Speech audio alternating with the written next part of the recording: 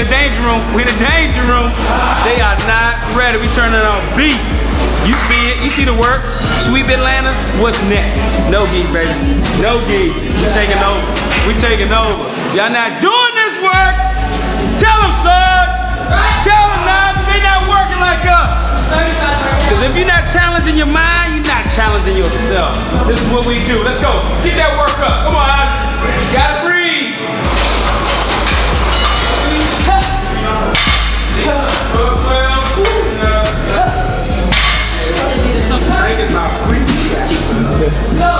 Good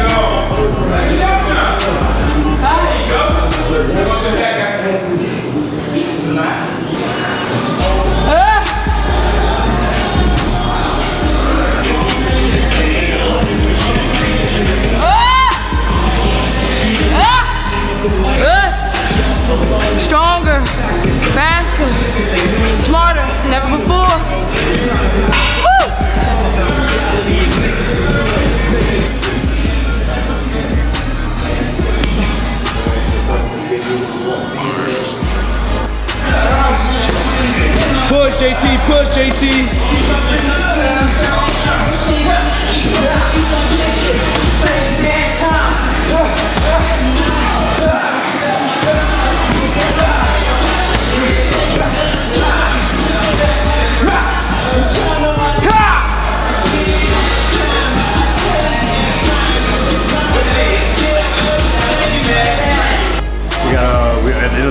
Finished my workout like I said, November, November Nogi Worlds. I'm back at it. I'm gonna get in shape with my soldiers. We got JT over here finishing his workout finalization. We got Keenan Cornelius getting ready to go to middle heavy right now. Keenan Cornelius is a middleweight, getting ready to go to middle heavy. Be at the top of the division, strong, flexible, good technique. Five, four, The world's watching, JT. The world's watching. This is the end of the workout. Pick it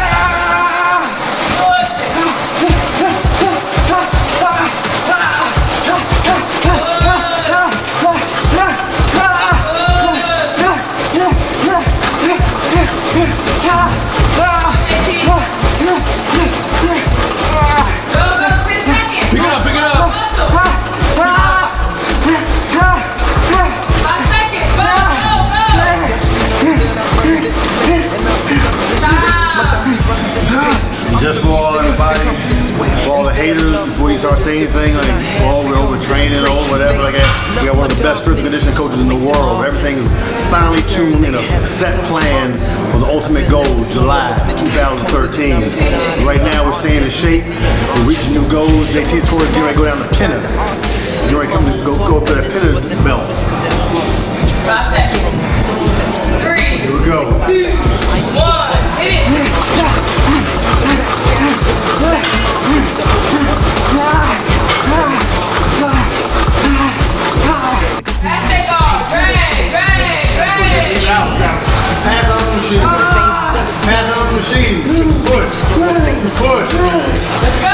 Now you pick it up, JT. Pick it up, JT. Ten seconds for the fight.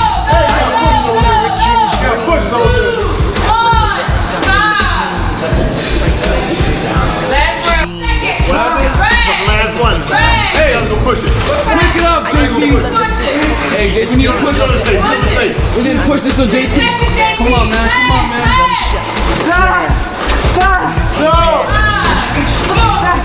Something better than that. I talk to people that hate me and hope they never come back. I'm glad your daddy's glad, baby. Hope he never comes back. I hope he's with you working with my hustlers, how you understand. I hope you die in this trash. I can't help it. All I hear when you crying is laugh. I'm sure somebody find you tied in this bag behind the hospital. Tired. Very tired. Very tired now. Been on the mats. When it comes June. I don't do this stuff because I like to do it. Because I think it's fun. I don't do it because of that. I'm do it because I want to beat you guys. Hey! Coming soon. Well, I got a call from Keenan uh, in the middle of the night, and he, he asked me. Actually, it was a text. He asked me what what I think about him going from uh, middle to middle heavy, and you know, I thought it was a good idea. You know, he can right now he can make, make middle, he can go middle heavy. Like if you see Keenan's frame, he can, you know, he can go up to uh, super pesado, you know, if he wants to. Um, he's going to grow and get bigger. So, the first thing I did, called the strength conditioning coach. Uh, I talked to two of them, see what they see what they thought. Uh, I talked to the doctor, Dr. Dr. Rosa, you know, about you know about his frame, you know, injuries, flexibility. Just try to make sure we do everything scientifically, and they all agree that he can go to any way he wants to go to. So. There's, there's a couple guys like Felipe Pena that he wanted to compete against. Um, he always is looking to challenge himself, and he, he wants to go tangle with the big boys. So I called Roddy, Dr. Roger Ferguson, had to put together a plan. He came in, implemented a plan, and now Keenan Cornelius is um, on a program, eating program, sleeping program to get big program um, to get towards the top of middle heavyweight. Um, so the reason I'm going up to middle heavy is because I competed all last year at middleweight, and the year before that I was at lightweight. And every year I've gained about 20 pounds just because I'm still growing and I'm, I'm only 20 years old. And uh, my dad walks around at like 205, so I can only assume that I'm going to get bigger. So I'm pretty skinny right now, but I felt really strong at middleweight. But I've, I've got a big frame, like I, I'm kind, I'm lanky, but there's definitely room to stack some muscle on. So um, I really want to go up to middle heavy and fight some of the bigger guys. And I feel like having a flexible guard at the higher weight classes, especially if you can actually put the muscle on and maintain that flexible guard, it's going to be really beneficial. So I'm looking forward to fighting guys like Felipe Pena mostly. He's the guy I'm gunning for right now. I really want to go fight Felipe Pena. Um, and that's my, my prime motivation for gaining the weight. So now I'm on uh, Maserati strength and conditioning program. I'm on a diet. I'm on all these supplements, and I'm pumping iron four days a week. So a couple, two months or so, you'll probably see me getting quite a bit bigger. Well, right now, um, Chris, Chris is Chris right here. The guy here. He, he didn't do what he's supposed to do in the jungle last year. We let him stay there. He normally probably shouldn't be qualified for the jungle. And today, strength and conditioning over. What happened? What happened to the camera? Slept in my alarm. He slept through his alarm. So from here on, from today on, he's moving back down to the um, basement. He was in the basement, he started in the basement like where everybody starts at, and he progressed his way up, and now he got a room now. He's been in a room, and he's and he's and he's neglecting the opportunity that has been bestowed upon him. And the next step is going back home to wherever you're from. That's how we roll here. You ready? Oh god, this sucks. Oh god, this Oh, sucks. this this sucks bad. So what's happening here? Well, I like to see myself as the leader, as the as the leader of the of the basement. You know. Um, today I'm gonna have some old blood rejoin my force. Chris Olbert. Now, let me explain one thing. If you have strength conditioning at 11:30, what time would you show up, Frank? 11:15, Right. 11 o'clock. 11 o'clock. Really? Any minute before 11:30 would be fine. Hey Chris, what time did you show up this morning? Uh, I don't know. I was late. 12:15. What time? 12:15.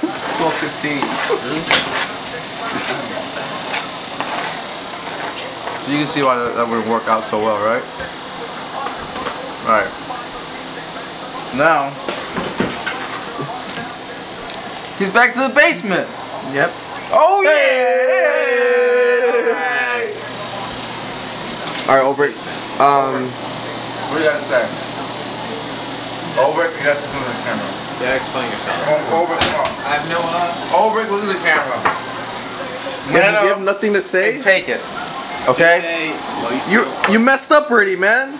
Alright, so you gotta take it and talk to the camera.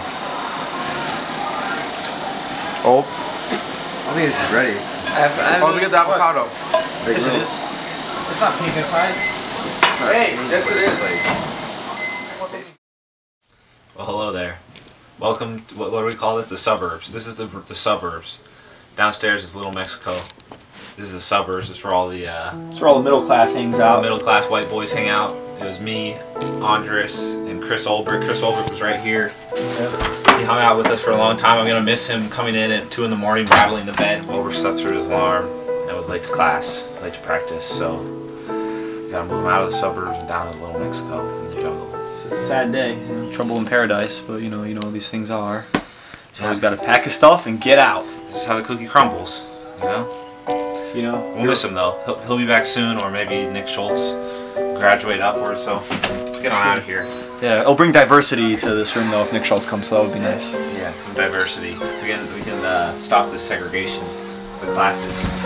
So follow us. We're gonna show you where he has to go. So what? This is the suburbs. The room, the right door, right off the, the front front here.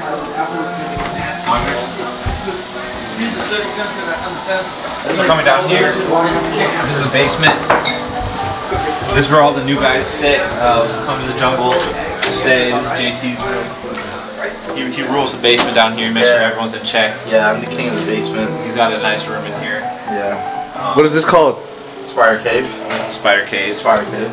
It's part of part of Little Mexico. Part of Little This is Mexico. Little Mexico down here. Yeah. Um, so you see, got it's right off the laundry room. So it kind of sucks if people are doing laundry at night, washing gis and stuff.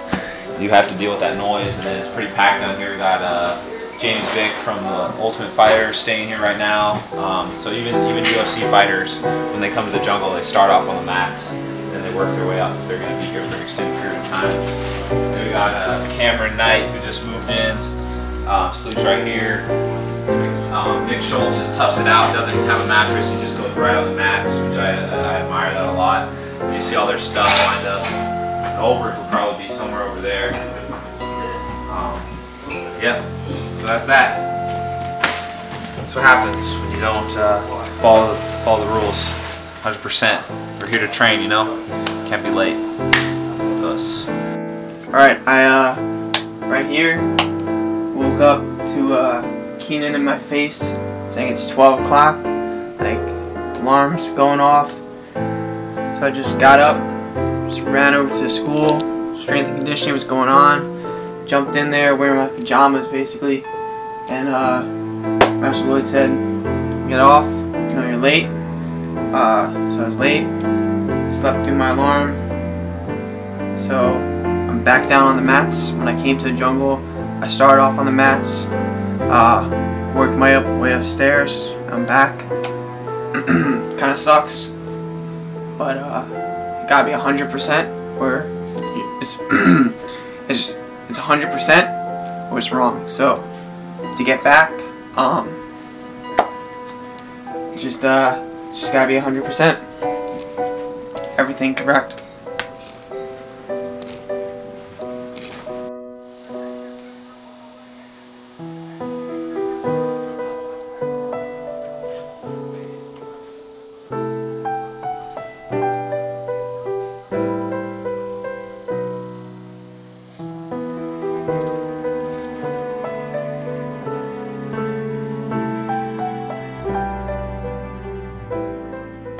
Saturday practice. We did cover a lot of uh, wrist locks today. Master Lloyd taught us like all different wrist locks from standing, from closed guard for a good three hours, and then we got in some live wrist lock only sparring. And uh, one of my good friends and teammates, Tim Spriggs, came down from one of the affiliate schools in Baltimore. He was my main training partner um, coming up into uh, the 2012 year when I did my purple belt run. He's a he's a big dude. He's very athletic, very strong, really good technique, and he really helped my uh, guard game a lot. So it was great to have him down here today. We got some good rolls in. My name's Tim Spriggs. I'm from Columbia, Maryland. I train at Crazy 88 Brazilian Jiu Jitsu. Uh, I started there when I was 17 years old. Right now I'm 21. I've been training a lot lately. Uh, this past year I graduated from St. John's University and decided to do Jiu Jitsu full time. Before that I used to go to class and then you know go to the gym and lift weights or just look at a lot of film, study a lot of tape and this past year I made a concerted effort to try to, you know, dial back on doing all the studies and try to train a lot when I was up in New York. And uh, this year I won the Abu Dhabi Pro Trials, got a trip to Abu Dhabi, I won Pan Ams, and uh, took home two bronzes from the Worlds this year.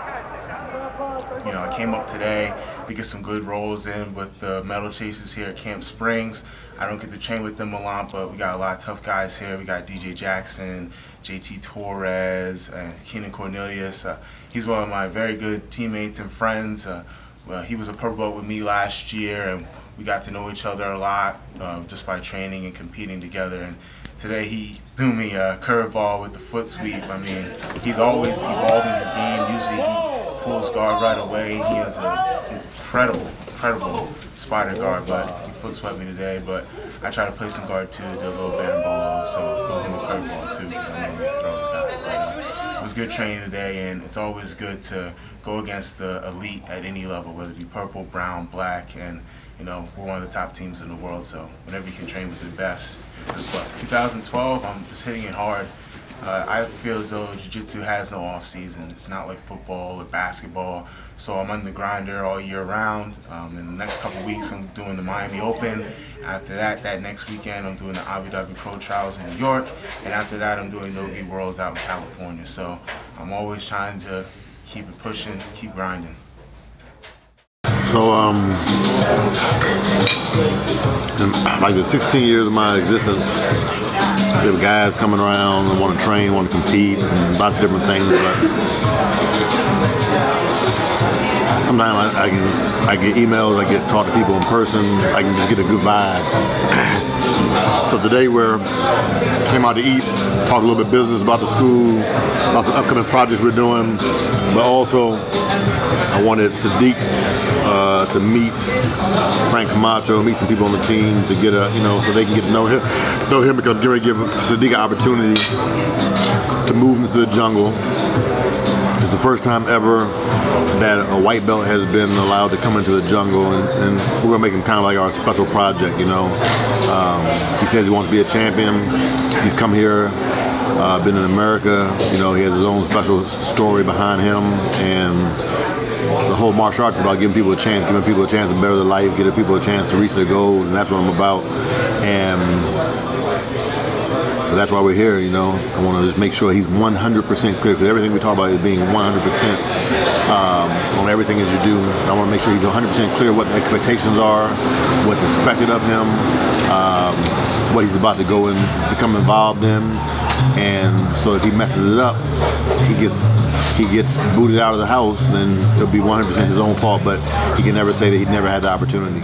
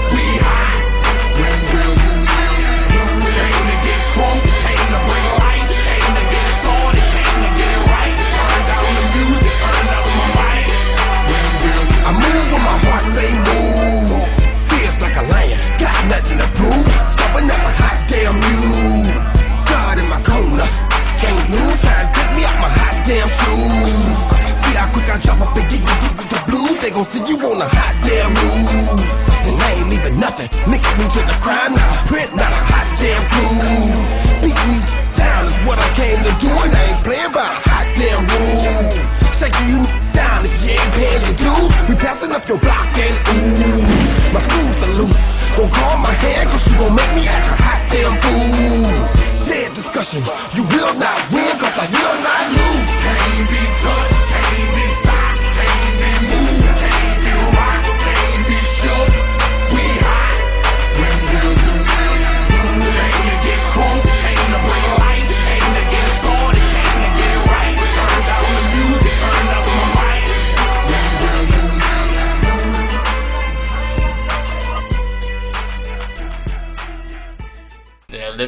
in the jungle has been awesome. It's like it's the, it's a perfect way to get to your dream. Like if you had a dream way to get to your goal, like that'll be it. Like all I do is just go to sleep, wake up, train, go to sleep and train, eat, train, eat, train. That's all I do. Like from my first week just moving in the house, people I train with already saying like how much better I get.